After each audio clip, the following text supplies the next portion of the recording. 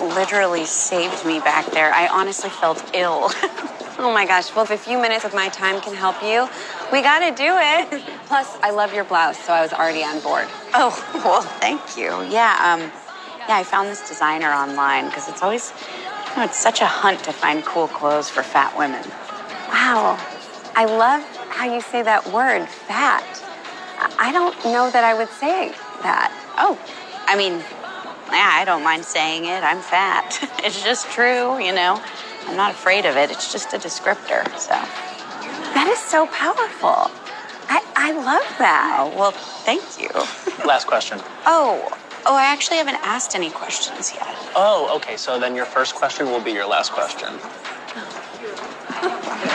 Okay. Um, okay.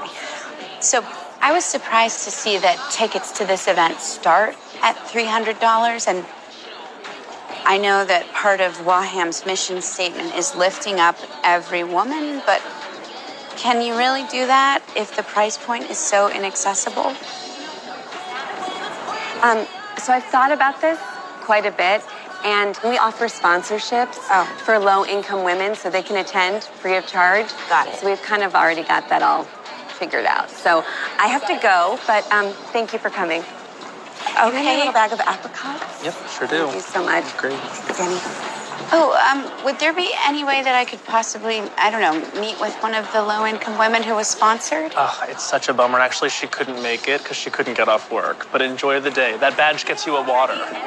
All right, beautiful ladies, thank you so much. That's it. We're gonna go. Work it,